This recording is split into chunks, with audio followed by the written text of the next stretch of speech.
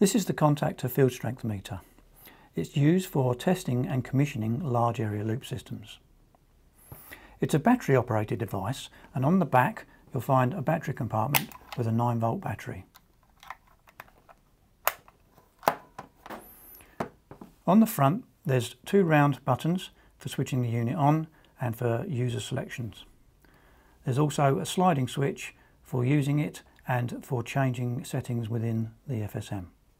On the top there's a 3.5mm jack line input and on the side there's also a 3.5mm jack headphone output. To switch the unit on press the top black button and the first mode that the field strength meter powers up into is the background noise check mode. This will be used when carrying out a survey. Pressing the top button again you will see it displays the mode that it's in. So press the button twice to move on to the next setting. So the next setting is the RMS peak mode.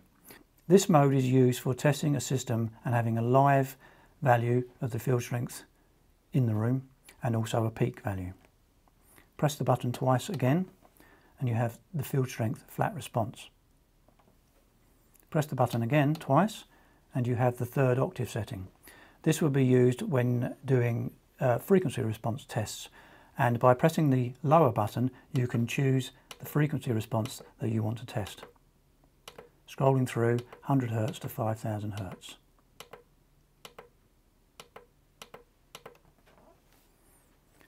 Press the top button again twice and you're in the line in mode for connecting a line level signal into the field strength meter. Press the button twice again and you're back to the background noise check mode.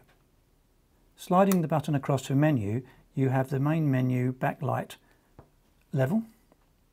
Press the button again and you have the headphone jack A-weighted mode, headphone volume output,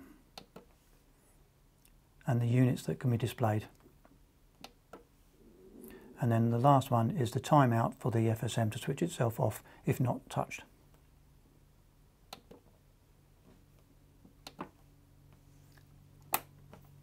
Switch the unit back to the Use button and you're back into the background noise checks.